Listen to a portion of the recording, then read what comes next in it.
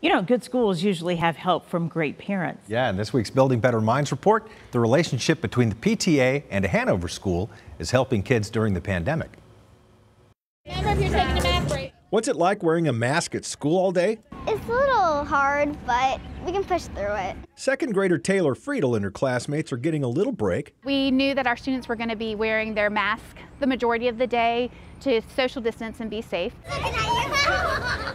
So we decided to provide outdoor learning space for our students to come out. Then one day, a television news team videotaped Officer Buckle. And it's all thanks to the Battlefield Park Elementary School PTA. They secured hundreds of dollars in donations for this outdoor space. When Mrs. Michaela presented what her plan was for the outdoor learning space, it just really struck a nerve with both of us. We were like, we've got to make this happen for the school and these kids. Movement and fresh air also stimulates our brain. So bringing them outdoors, letting them breathe in the fresh air, connecting nature to their lessons as well. So he's in a really big place. It brings it all together. We we were apprehensive about the children wearing masks all day.